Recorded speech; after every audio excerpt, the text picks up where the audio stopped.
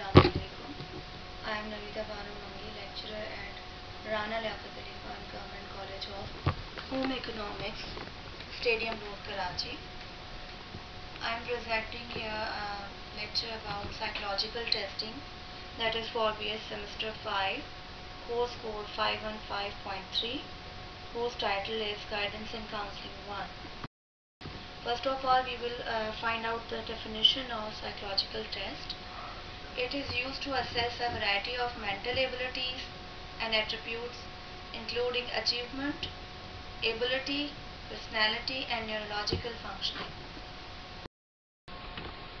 It is being classified into five classes. Number one is intelligence test. Number two, aptitude test, achievement test. Number four, interest test. And number five is personality. First of all, we will discuss about intelligence and then its testing. Intelligence is a general capacity or potential for learning and it is tested by the intelligence reflect individual differences in the speed and efficiency to basic cognitive processes more than they reflect differences in the information content to which test takers have been exposed.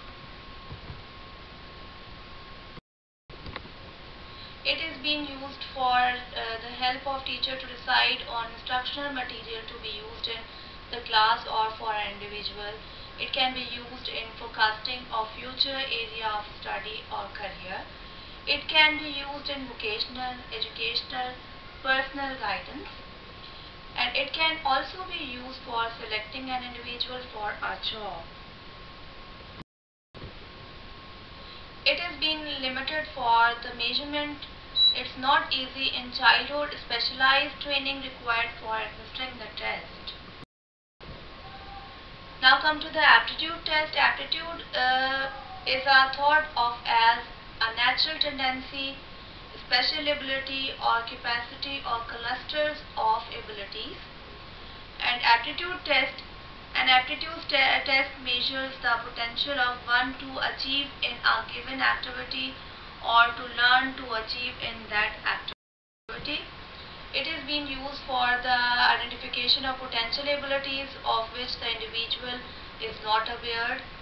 They may encourage the development of special or potential abilities of a given individual.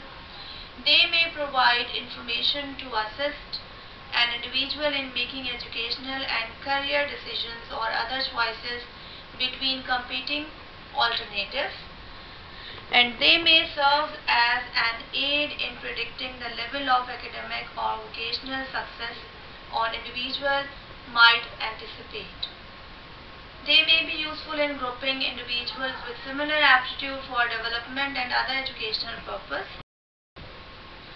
Types of aptitude test are single aptitude test, mechanical aptitude test, clerical aptitude test, teaching aptitude test, and the musical aptitude test. Such tests covering a group of related abilities are necessary for performing in an occupation like becoming a mechanic, clerk, teacher, musician, and etc. Another type of aptitude test is work sample aptitude test. Now achievement test uh, is going to be discussed. Achievement test can be defined as the test which is designed to measure the degree of students learning in a specific subject area.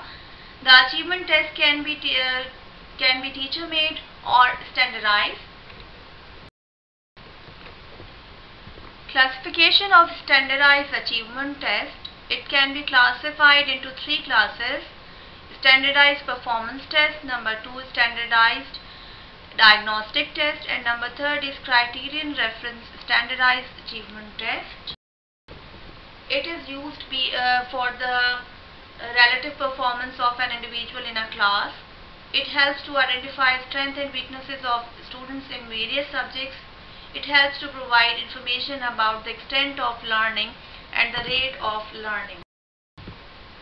It is limited to the teacher to made achievement test are unable to provide correct information. There are other factors like motivation, fatigue, mood which can influence the achievement. They are not very reliable in predicting job success and job satisfaction. they give picture of only cognitive development. It does not give any idea about emotional quotient and other personality traits.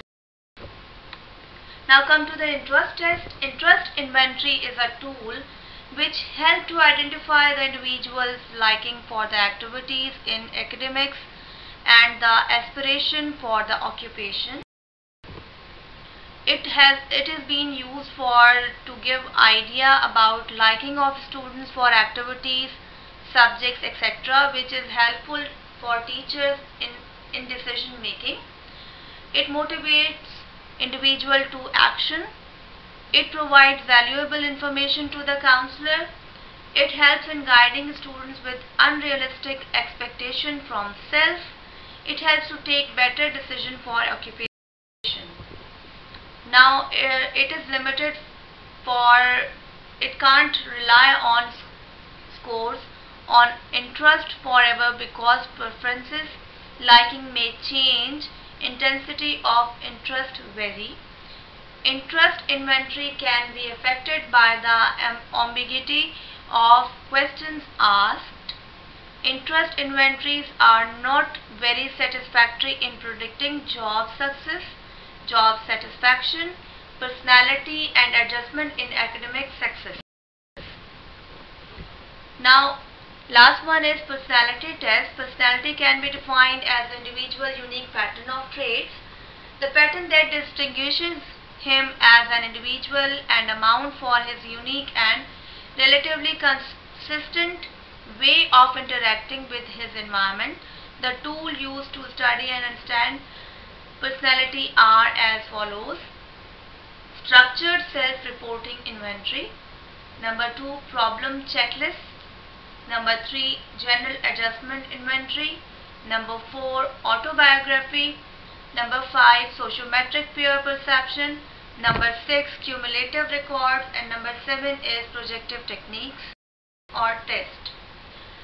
It may be used to help to understand individuals it provides information about individuals. The information can be used by teacher to develop an individual personality at its fullest.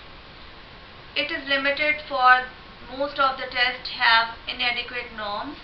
Trained qualified persons only should interpret the information. You can uh, find more points from these all reference books. Thanks.